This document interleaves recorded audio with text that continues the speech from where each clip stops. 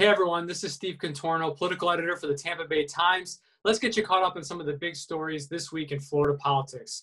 Yesterday was a big day on the campaign trail in Tampa, where we had both President Donald Trump and former Vice President Joe Biden in Tampa campaigning within 10 minutes of each other. Of all the places in the 3.8 million square miles across the country, they both decided to spend five days before the election in Tampa, really showing how important that city is to the election. Uh, so some of the things they talked about, we obviously had a huge juxtaposition of a maskless rally for Donald Trump and President or Vice President Joe Biden. Everyone was masked, socially distanced, really laying out two different visions for the coronavirus and the pandemic as well. Donald Trump saying we're rounding the corner, Vice President Joe Biden saying he wants to shut down the virus.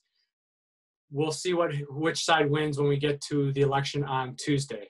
Speaking of the election, we've had so many people vote so far in uh, Florida. 3.1 million Democrats have cast ballots. Just under 3 million Republicans have also cast ballots already. And of course, the unknown, the non party voters, we've had 1.6 million of those. We don't know what this means. There's been such record turnout so far that it could be, it could mean that we've shifted a ton of votes to early in the election because of the pandemic, or it could mean that we're going to have record high turnout still to come. As it is, we obviously have no idea what the turn what, what the result is going to be in Florida. It's going to be razor thin, but Florida we know could change the outcome of the race with Donald Trump needing Florida it to, in order to win back the White House.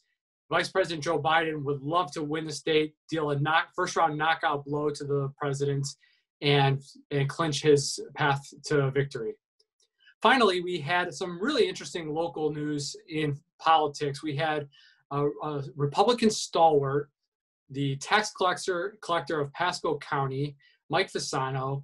He is a former House uh, leader in, in, he's a former House Republican leader. He decided to come out and endorse former Vice President Joe Biden. He called Donald Trump an embarrassment. Anyone who knows Mike Fasano knows that he is one of the most credible and well-liked officials in the area. And here he is coming out with a huge endorsement just days before the election. That's it for this week. Thanks for joining us. As always, you can find us at tampabay.com or sign up for our Buzz newsletter at tampabay.com slash newsletters.